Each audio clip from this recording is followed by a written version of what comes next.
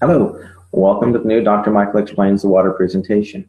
This is a more detailed explanation of the water presentation that I did on YouTube a while back that seemed to go viral.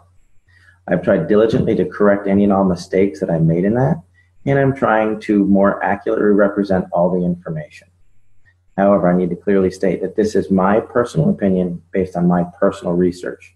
It is not associated or affiliated with any water ionizer company whatsoever. With that said, let's begin.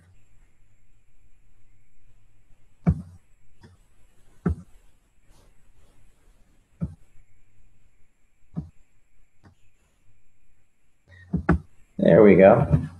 Excellent. I named this presentation The Magic of Skywater because of what it did for my daughter. Many of you have asked what happened. Basically, my daughter Skylar was born back in May of 2009 with a severe case of gastroschisis. She was literally born inside out. Everything that was supposed to be on the inside was the outside stomach, liver, pancreas, spleen, small intestine, large intestine, bladder, and right ovary. Uh, she went through a period where the biggest complication was known as acute dehydration syndrome. Uh, she spent a year at Scottish Rite. She came home after two colostomies and a resection of her bowel. Uh, when the dehydration would hit, this would be her mid afternoon one day, and this was her that evening after she'd been revived at the hospital. Basically, the bowel would shut down, and so I became a hydration expert. I tried every pill, potion, water ionizer you can imagine, and uh, we came through it when someone introduced us to the Enagic SD501. That is Skylar today, and at the time that we tried it, I was actually completely opposed to alkaline ionized water when it worked, I was a little dumbfounded. Uh, so I had to figure out why. And here's what I found. Um, the difference between the healthiest person and the sickest person is broken down into two components muscles, ligaments, bones, organs, tissues, etc. These all add up to 28% of the pa- patient. The other 72% of everybody is just water. What I found out, not all water is equal.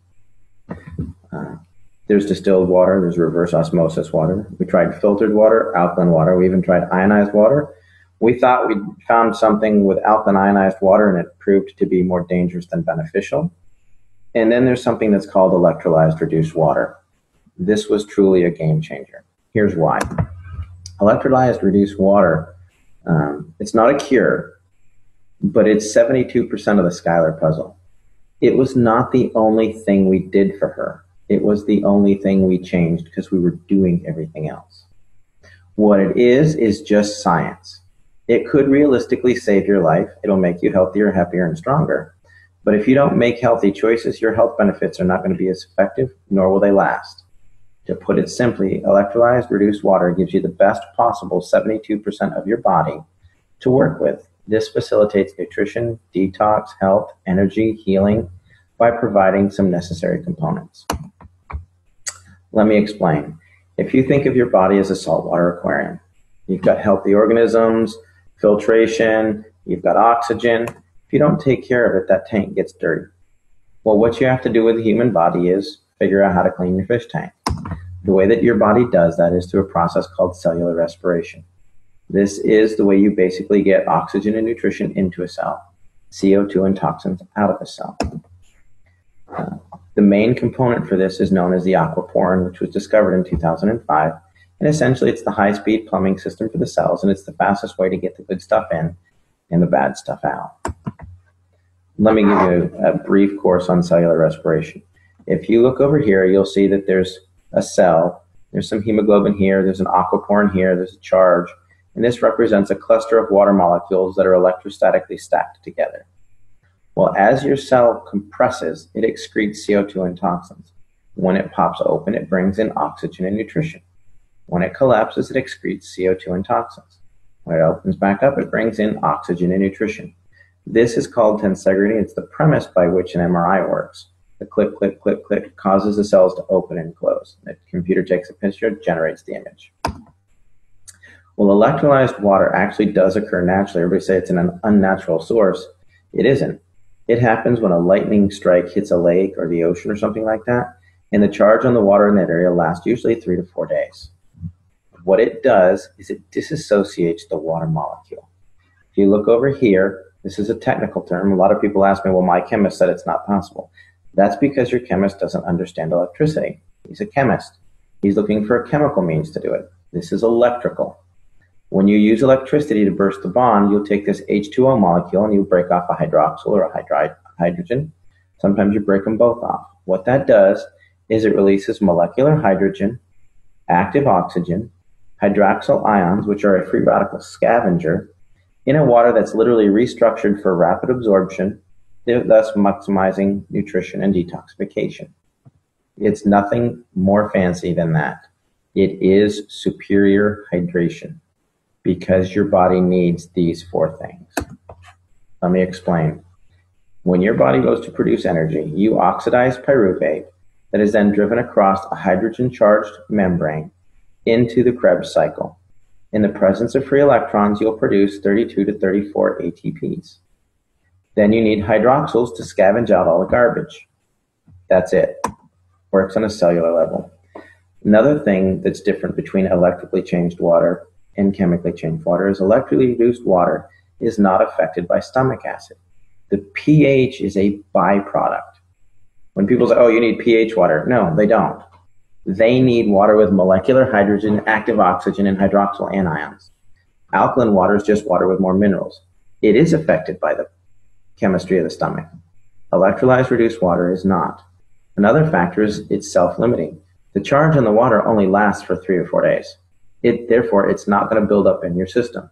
If you have chemically altered water, it will build up in your system. It will affect blood pH because the calcium, magnesium, potassium get stuck there. Currently, I have not found any negative research on PubMed in regards to electrolyzed reduced water. That doesn't mean there isn't any. It means that I couldn't find any. So what did it, how does this work? Well, basically they took a lightning strike, put it in some medical grade titanium plates that were dipped in platinum and put it into a machine that's about the size of a coffee pot. And what it does is it takes this big clump of water molecules and zaps it. When it zaps it, it breaks it into smaller groups because it has an electrostatic charge, giving you some free electrons, the molecular hydrogen, active oxygen, and all that. The more charge you hit it with, the more it breaks it down. Here you've got five groups of five or six groups of four. You could have two groups of 12. It just depends on the level of ionization. It's a rather simple process. If you think about this cluster of grapes, if I wanted to put all of these grapes into this bottle, I would rip each piece off and dump it in there. If I tried to cram the whole thing in there, there would be grapes that were rolling around the floor and missed the thing and all that. We want to get in as much as possible. These are not chemically bound molecules of water. If you chemically bind them, they're no longer water. They're not one giant molecule of water. It's a cluster of water molecules that are stacked together because they have a le- low electrostatic charge, a lot like Rouleau factor in the blood. Another way to look at it is when my son was rolling around on the carpet, uh, his hair got a high static charge. He's actually holding onto a necklace that's not causing his hair to stand up. But what happens is the hair dispersed. It got its own little static charge and it caused it to stand up and spread out instead of laying down clustered together. When you ionize water, you're causing the water molecules to disperse. That's all you're doing. If you want to research this phenomenon like I did, don't use Google. It is my personal favorite search engine, but it's also the one that's most manipulated and hard to reference accurately. Besides, you can support anything with a quick Google search. The world was supposed to end several times. Just check Google. Instead, we're looking at something more scientific and how it affects the body. Do clinical research on PubMed, and you'll find that if you look up electrolyzed reduced water or hyphenate electrolyzed reduced water, molecular hydrogen, active oxygen, hydroxyl anions, free radical scavengers, you're going to find what I have found that there's a lot of research to support this type of water. You're also going to find that if you look at pure alkaline ionized water, there's a lot of dangers that are associated with the remineralization component which we'll get into in a moment. Molecular hydrogen is easily the primary benefit of electrolyzed reduced water. It literally charges a cell membrane of every single cell in the body, increasing its electrochemical potential. That means makes it healthier, able to get good stuff in and bad stuff out. It's also a critical component for the nervous system. Uh, there's a vast amount of research on PubMed in molecular hydrogen and Parkinson's, in MS, in autism, things like that. And finally, it works as a powerful antioxidant. The next component of the water is it is loaded with active oxygen. Active oxygen is what's required to produce ATP. It's what's driving the Krebs cycle. When you run out of active oxygen, your body starts to shut down because it can't work correctly. It's just like a fire. If you remove the oxygen, it goes out. Finally, there's the antioxidant and free radical scavenger components. Basically, iron in any acidic environment will start to rust. You can leave your tools from your garden outside in the rain and they're going to rust. Well, where do we have iron? We have it in hemoglobin, we talked about during cellular respiration, but we've also got it in the red blood cells. We got it in the brain, the kidneys, the lungs, the lymphatic system, the bones. If it's in an acidic environment, it's going to oxidize, which will create a toxic burden. Your body is designed to be slightly on the alkaline side. Um, today, we're flush with oxidative and acidic disease processes. The number one acidic disease process we have right now is cancer. It's actually a prime cause is oxygen deficiency. You can look up Otto Warburg, there's some research on that. Don't Google it.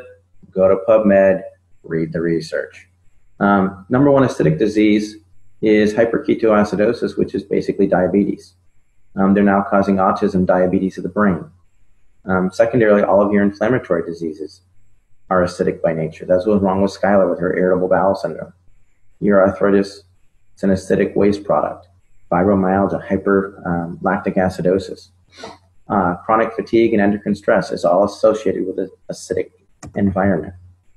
And why are we becoming so acidic? Well, we drink coffee, tea, soda. Um, there's an enormous level of reverse osmosis water, which is misunderstood. You don't want water with the lowest parts per million of anything. That makes it acidic and it won't even carry a current. It's designed for coastal countries to have good water supply. Um, if you do some clinical research on this, you're going to see that it's associated with MS, MD, and Alzheimer's. Um, most any of your bottled waters, all your big 24 packs, those are most likely reverse osmosis water that's had minerals added to it, which is dangerous in its own sense. You don't get your minerals that way. Here's a couple of guidelines for hydration. If you're a regular healthy person, you want to drink about 50% of your body weight in good water every day. If you have acute health issues, this could be dehydration from working out in the yard, excessive level of sports, you could have the flu. You may want to drink nearly 75% of your body weight in ounces.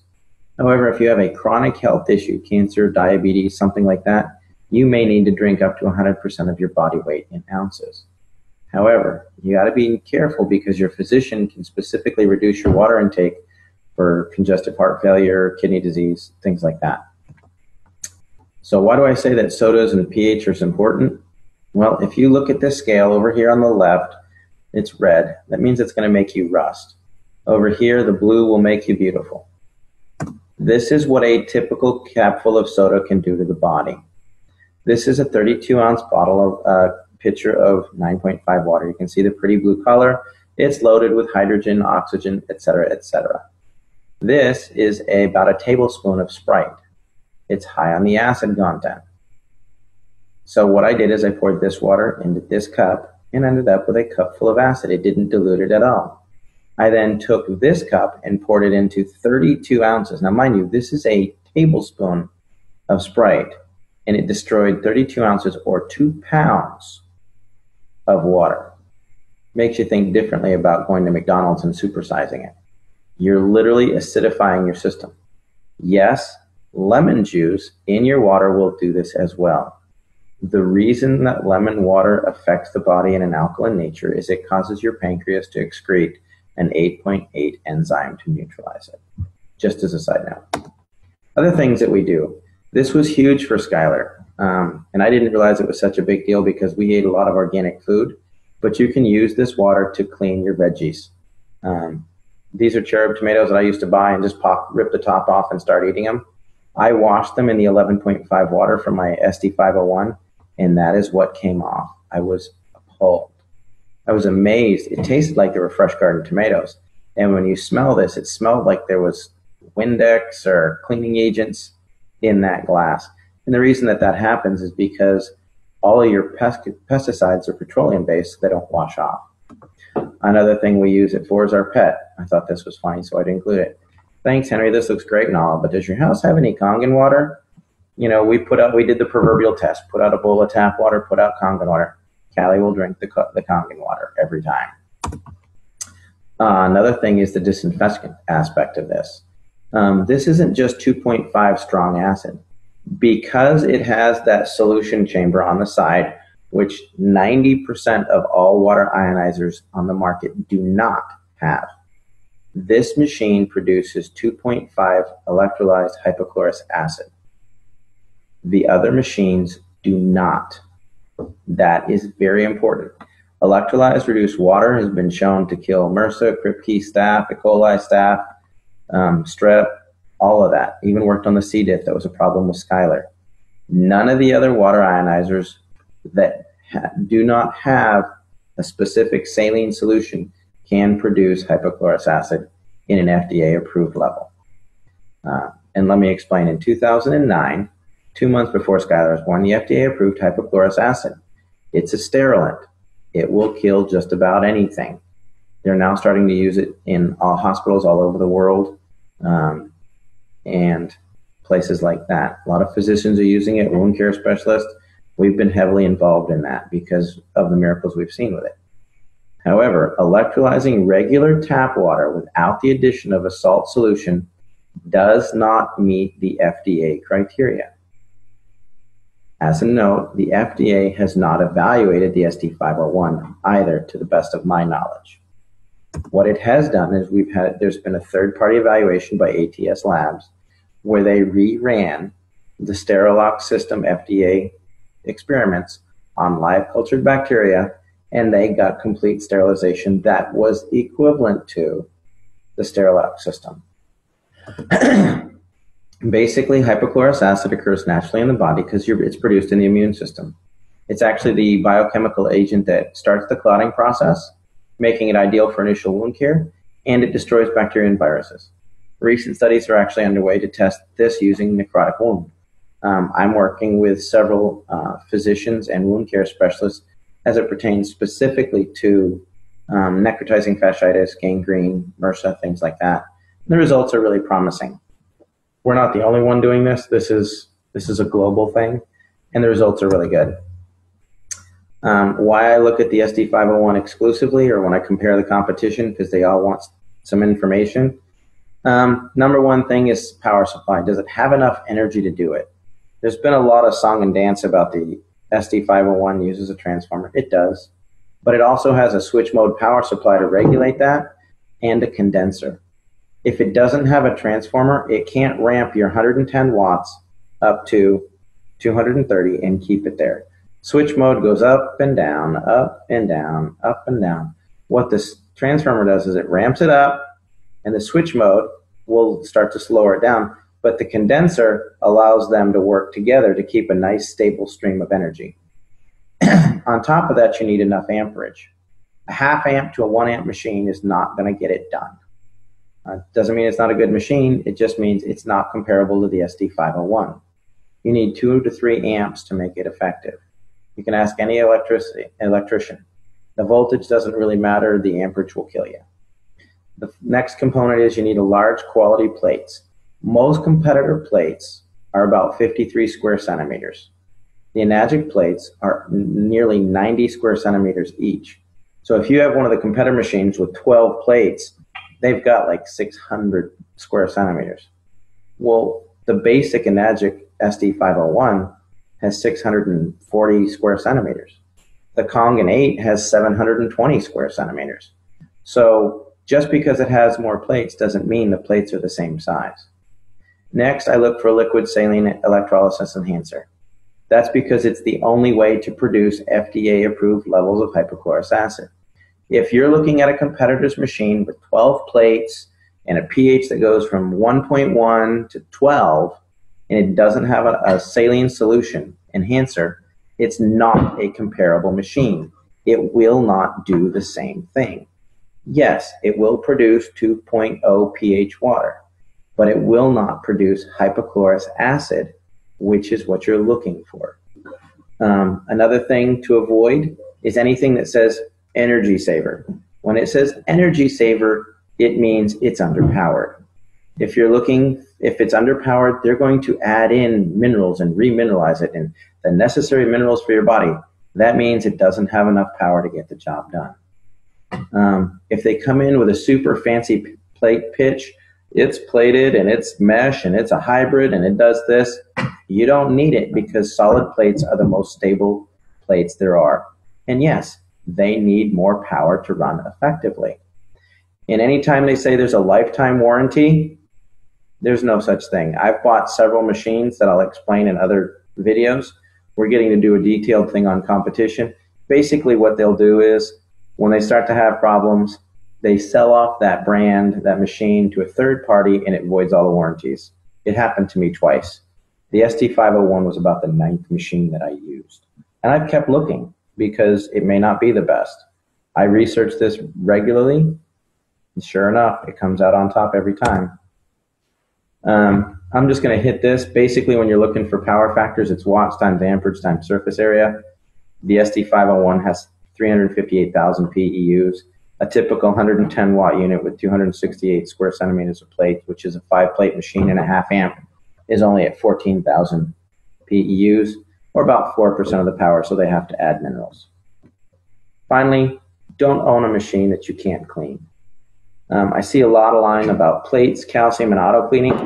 The Enagic SD501 auto cleans itself every 15 minutes. And they have a manual cleaning cartridge that gets rid of not just the calcium on the plates, but the calcium in the lines. It gets rid of the calcium, the mold and the stuff in the lines and the housings. I've taken apart several machines and they're loaded with mold in the housings, the tubing, but the plates look good. Some of the plates erode on some of the competitors, but that's another thing. In fact, most municipal water supplies are getting worse and worse and worse. And Enagic is staying abreast of this and realizes that they need to have a dedicated team of technicians that can completely clean your machine. If you can't clean your machine, you're most likely going to be drinking mold. That's my opinion. I could be wrong.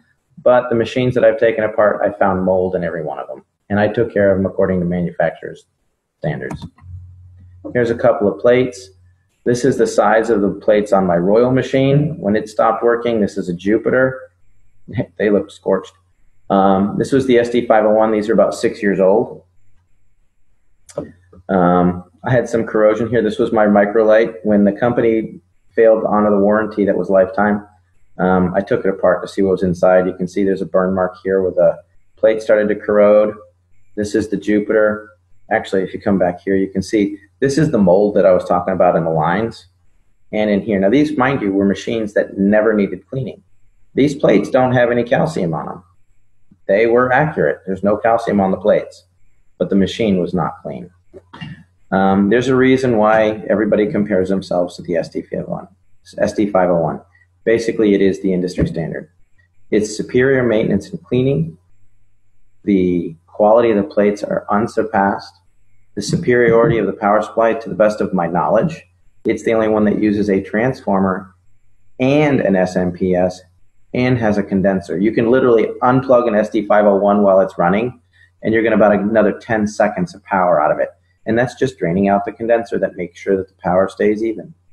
Um, it's one of the longest companies in the history of the industry. Um, they have a wider diversity of uses for the water, um, the types of water it produces and it's one of the few that actually use an electrolysis solution for hypochlorous acid. If their machine is bragging that they don't use a solution, it doesn't work. You can't use it for sterilization. Period. Why I personally feel the SD501 is the best, I tried eight or more alkaline water ionizers. Bottom line is it worked for Skylar. Um, within four days, 80% of her symptoms had resolved. She had her first solid bowel movement in 10 days. And within six months, she was off feeding ports. Was it the water? Yeah, because it was the only thing left to try.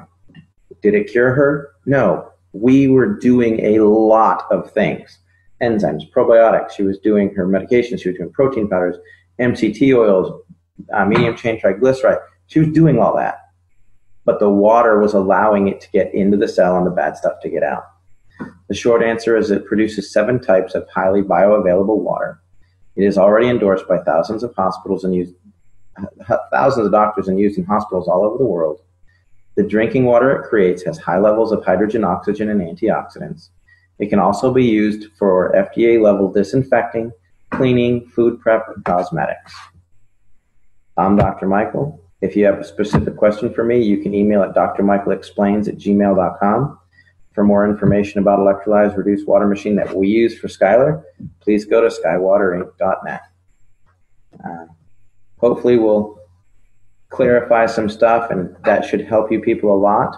And if there's anything that I can do, let me know. Look forward to some more meetings that we're going to have coming up. Uh, meetings, more webinars. We're going to be doing a detailed explanation of Skylar's story. We're going to talk about electrolyzed reduced water and the science behind it in detail. Um, there's a detailed presentation on hypochlorous acid. Um, everybody's really looking forward to the Dr. Michael explains the competition and why I say that there really isn't any. Um, by the time you buy some of the competitors, there's some that go, why the SD 501 doesn't work or it's a pyramid scheme or whatever. They honestly have no idea what they're they're comparing. If you look at their machine and spend $3,200 or $2,500 for it, you have to turn around and spend another three to five thousand dollars for a hypochlorous acid machine. Then you have apples to apples. You don't get that when they're trying to pitch you on why you don't want the SD501. Bottom line is, it is the best machine that I have found. The only thing that I think may rival that is the Kangen 8, which has eight plates. I've used it. It's phenomenal. Um, we recommend it a lot. I look forward to having you see, getting some feedback on this. Have a great day.